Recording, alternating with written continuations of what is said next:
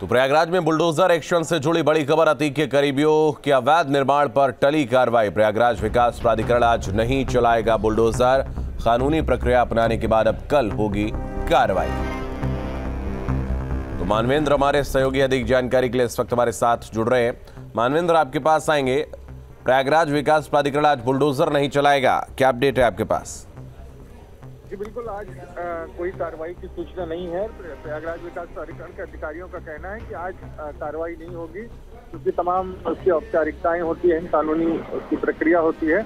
उसको आ, पूरा करने के बाद ही आगे की कार्रवाई होगी तो आज प्रयागराज में बुलडोजर नहीं चलेगा।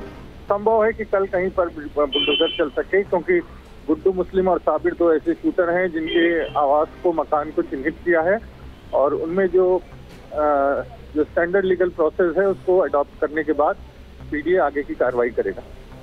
बिल्कुल, बहुत धन्यवाद आपका हमारे साथ जुड़ने के लिए, तमाम जानकारी के लिए बहुत शुक्रिया। तो पीडीए जो है, वो अब कानूनी प्रक्रिया अपनाने के बाद कल कार्रवाई करेगा और आज के लिए ये कार्रवाई टाल दी गई है। तो आपको बता दें, उमेश हत्याकांड के बाद लगातार कार्रवाई की जा रही है उन तमाम अपराधियों पर हत्यारों पर, जिन्होंने इस हत्याकांड को अंजाम दिया था।